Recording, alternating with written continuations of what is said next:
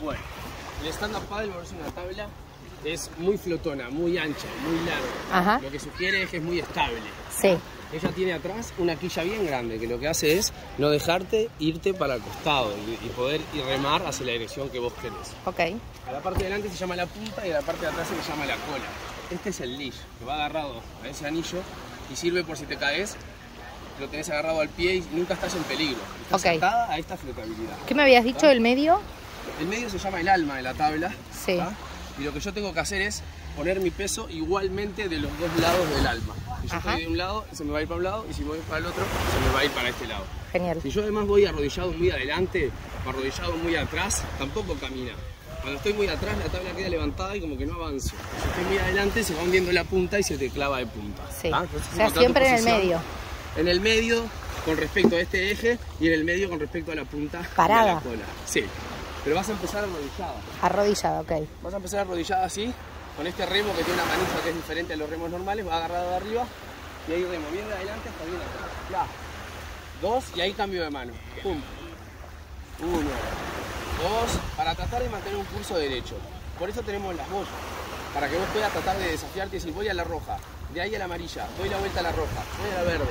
Y me quedo un poco por ahí dominando mi embarcación. Termino en tu catamarán, me parece. Vamos tirando los barcos ahí si quieren. Y ya. Dale. Este, y se van yendo ustedes dos y yo con Bel lo saco al toque. Y para pararme, entonces yo ahí me concentro en un punto adelante, hago equilibrio ahí, apoyo mis puños, ¿ves? Sí. Y los remos, pero sigo agarrando el remo, no lo dejo y ahí me paro y lo agarro. Y ahí pego el saltito este, ¿lo ves? Y ahí me quedo medio agachadita, pero la espalda la levanto, pero no las piernas así, clac, y las dejo así rectas, no. Flexionado y ahí uno, dos, cambio de mano, uno, dos. Para frenar, freno de este lado, la tabla hace para la izquierda. Y necesito para la Y derecha. si no puedo volver, ¿qué hago? Vos que vas a estar en el Y barco. vos vas a tener que frenar, cuando llegues a la roja, Sí. vas a tener que frenar y empezar a ver si frenando de este lado la tabla se empieza a ir para un lado y lo ayudás para el otro para volver, ¿viste? Sí. Y ahí si no podés te arrodillás, te tirás al agua, las tirás para donde vas, te volvés a subir, te arrodillás, empezás a darle.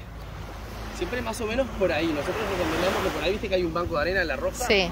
Esa es la mejor, el mejor lugar, porque si te caes, tampoco estás hondo y podés pararte, dar la vuelta y, y conocer barco. Ok. Dale. Bueno, Eso es el básico del stand-up, ahora acá- que te diviertas.